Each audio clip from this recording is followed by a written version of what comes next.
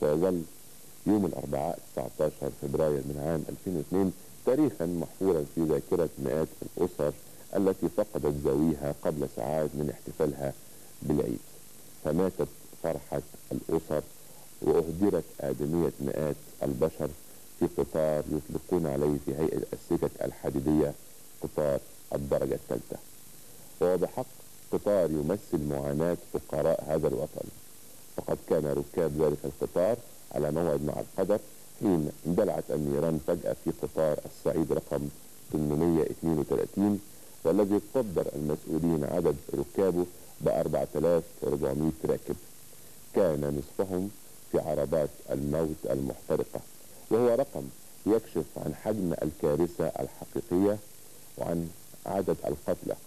فذلك القطار تجمع فيه الغلابة لزيارة أسرهم فمنهم من افترش الأرض وآخرون ناموا في مكان الحقائب وغيرهم ناموا في دورة المياه وهي صورة غير واضحة المعالم لبشر مكدس في عربة تشبه عربات نقل الحيوانات.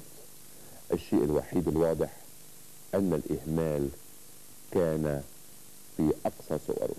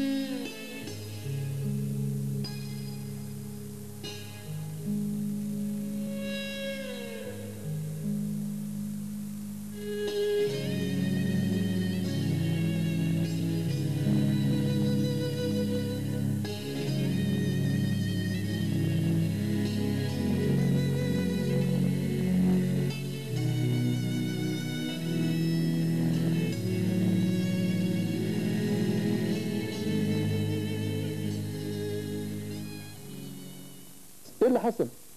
اللي حصل في اعتقادي غير اللي, اللي اتقال. حتى الآن في الصحافة اللي حصل إنك أنت قبل العيد بدأت تبحث موضوع الزحام اللي هيبقى موجود عندك في. أيام العيد. فبدأوا في عدد من الس- ال- ال- العربات كان بيتم صيانتها. صدرت تعليمات وده كلام سيكشف عنه النقاب يفترض صدرت تعليمات بإن أربع عربيات من اللي بيتم صيانتهم يركبوا في القطار آه، ال- ال- ال- ال- ال- ال- اللي حصل فيه الحادثة. الأربع عربيات هم بيركبوهم لما بداوا آه، من ضمن السبعة اللي اتحرقوا كانت فيهم رائحة الكيروسين ده كلام شواهد عيان كانت فيهم رائحة الكيروسين ورائحة الجاز. مش القطار بمجرد ما مشي القطار كان في شرزات بتاعة كهرباء.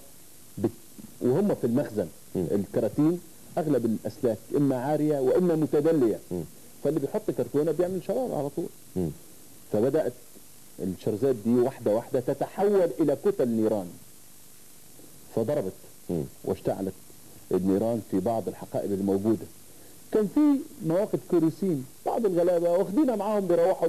الناس ال- اللي تعتبر ده ثروة بالنسبة لها بتاخده هنا وبتشتغل بيه هنا مم. فولعت العربية. فرقع الكيروسين عمل انفجار ضخم. امتد من العربيه 12 للعربية 11 امتد بعد ذلك إلى العربيات اللي فيها رائحة الجاز والكيروسين واللي الناس نفسها كانت بتحرك وبتحاول تبعد عن العربيات دي. فحصل الحريق. ال- الحادث آه، نتج عن آه، وجود آه، اشتعال من موقد كيروسين الرياح طبعا ساعدت على انتشار ال- اللهب آه، مع سرعة القطار ووجود رياح شديدة في الوقت ده ساعد طبعا على انتشار اللهب مع وجود برضه اللي ساعد آه، مكونات العربية نفسها مكونات الكراسي مكونات ال- الجسم أو التبطين الداخلي من من مواد قابلة للاشتعال. كل ده ساعد على انتشار اللهب بالصورة الكبيرة اللي حصلت فيها. لازم يقع مثل هذه الحادث ويحترق أكثر من 370 مواطن مصري عشان نكتشف إن في قصور في السلك الحديد. طبعا هذا القصور موجود وموجود بقاله سنين طويلة. وللأسف القطارات بتروح وبتيجي ومحدش كان بيتكلم ولا حد كان بيحاول يعالج هذا الخلل اللي موجود وهذا القصور اللي كان موجود لحد ما وقع هذا الحادث. السواق ما وقفش إلا بعد ما العربيات تهلكت من الجحيم من النار وساح الحديد فيها وانتهى الأمر.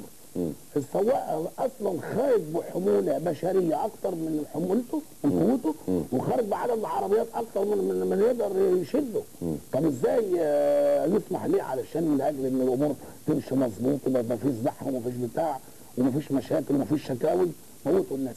في أسرات الدرجة الثانية والثالثة إحنا كمسؤولين في سكة الحديد ما نقدرش نسيطر على عدد الركاب اللي فيه.